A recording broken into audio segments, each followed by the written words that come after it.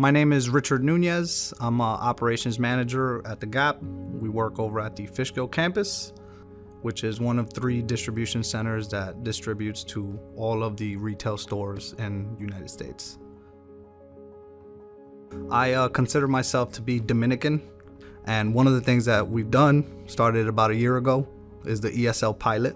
So basically, what we did as a team, we changed all the verbiage from the application, the I 9 verifications, from beginning to end. We made sure that everything was 100% available in Spanish. And we started to really just get public and make it very clear that, hey, if Spanish is your first language and English is your second, we'll take you. I think it's going very well. And right now we've identified it's no longer a pilot, it's a program. So we're gonna get together and we're gonna continue to just build off of that and maybe spread it to other distribution centers.